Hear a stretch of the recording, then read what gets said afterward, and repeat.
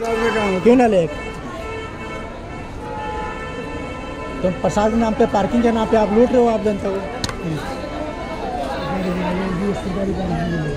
कहाँ पे? चलो लेके आओ